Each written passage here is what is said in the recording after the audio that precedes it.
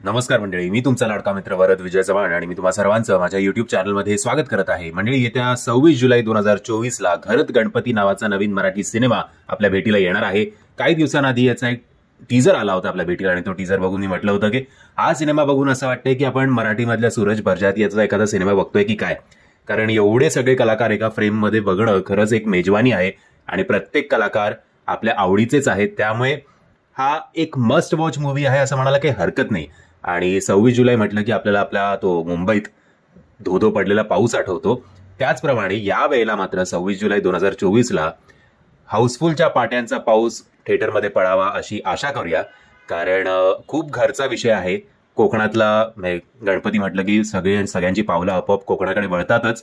So घरातला गणपती तो एकमेव असा क्षण असतो ज्या वेळेला अख्खी फॅमिली एकत्र येते जी वर्षभर एक एकमेकांपासून लांब राहिलेली असते. आणि या टीजरमध्ये एक आपल्याला वाक्य ऐकायला मिळतं. की अजिंक्य देव संजय मोने सरांना म्हणतात की आपण आपणशी गणपतीबद्दल बोलूया जरा.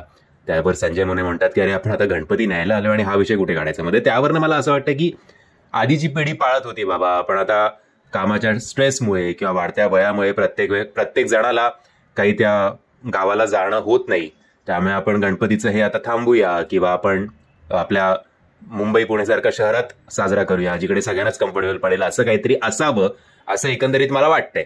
बरं या फॅमिलीमध्ये जे काही थोडेफार मतभेद असतील ते जुळवून कसे बसे वर्षभर एकमेकांना सगळे हसत खेळत सगळ्यांशी मिळून मिसळून राहण्याचा प्रयत्न करतात तेवढ्यात एक मॉड शहरी मुलगी म्हणजे जी भूषण प्रधानची नायिका आहे कदाचित भूषणने हे सगळं फॅमिलीला सांगितलं नसावं अचानक ती गणपतीच्या उत्सवात किंवा गणपतीच्या त्या चांगल्या कार्यात अख्ख्या फॅमिलीला ती इंट्रोड्यूस होते आणि मग स्वतःचे जे काही प्रॉब्लेम्स बाजूला आहेत ते ठेवून आता या मुलीला आणि या ऑर्थोडॉक्स ऑर्थोडॉक्स फॅमिली असेल असं मला एकंदरीत वाटतं कारण शेवटी अश्विनी भावे आपल्याला बोलताना दिसतात की एक मॉड मुलगी कोकणात येऊन तुमच्या घरात राहते हे तुमच्या फॅमिलीला पटणार आहे का?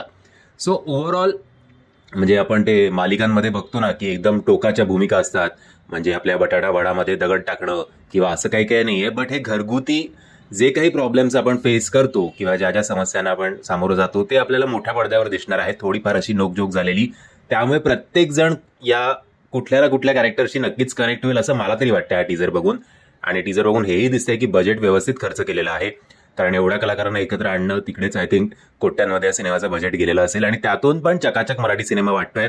कारण प्रत्येकाचं कॉस्ट्युम असेल लोकेशन असेल म्हणजे घर जरी कोकणातलं असलं तरी ते सुद्धा चकाचक दाखवण्याचा चांगला प्रयत्न केलेला आहे आर्ट डिपार्टमेंटनी तर त्यासाठी त्यासाठी सुद्धा कौतुक आणि कॉस्ट्युमवाल्यांचं सुद्धा कौतुक. सो मनापासून सिनेमा बनवलाय. आता गणपती यांना पावतो की नाही पावणार हे आता आपल्याला सव्वीस तारखेलाच कळेल. सो बघूया तुमचं काय मत आहे या टीजरबद्दल कमेंटच्या माध्यमात कळवा. टीजरची लिंक मी खाली डिस्क्रिप्शन बॉक्समध्ये देतोय. मी आशा करतो तुम्हाला हा व्हिडिओ आवडला असेल. जर तुम्हाला हा व्हिडिओ आवडला असेल तर प्लीज या व्हिडिओला लाईक शेअर आणि चॅनलला सबस्क्राईब करायला विसरू नका. जय हिंद जय महाराष्ट्र.